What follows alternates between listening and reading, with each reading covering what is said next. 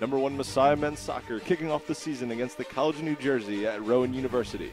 Our highlight of the night comes in the 69th minute with the Falcons and Lions tied at one.